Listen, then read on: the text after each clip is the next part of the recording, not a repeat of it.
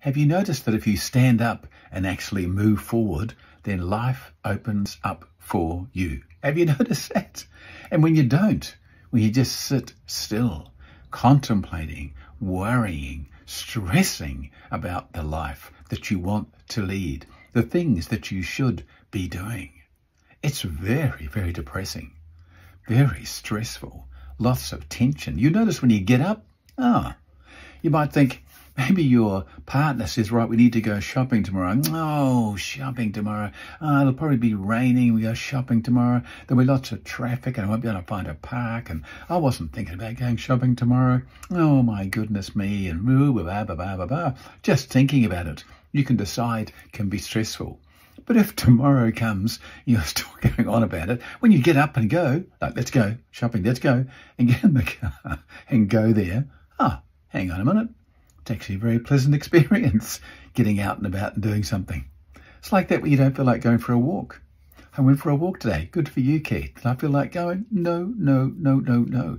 The weather wasn't terrific. There was a very strong wind blowing, and I knew when I left the house and walked out onto the road and walked down the road, the wind was blowing my back, and I thought, oh, that's very pleasant. I'm getting wind assisted down the road. But I knew what that meant coming back. I'm going to be going straight into the wind. But it's okay. Once I got up and moving and walking and the fresh air and the birds and the trees and just the whole world around me, it changes, doesn't it? It changes you. It changes everything about you. Your whole metabolic state changes, doesn't it? And then walking back into the wind, who cares? Hey, it's just wind in your face. People say it's very windy today and cold. Well, I'm just delighted to be alive to feel the wind on my face and the cold. Aren't you? There are people lying in hospital beds who would give anything to get outside one more time and feel the wind on their face.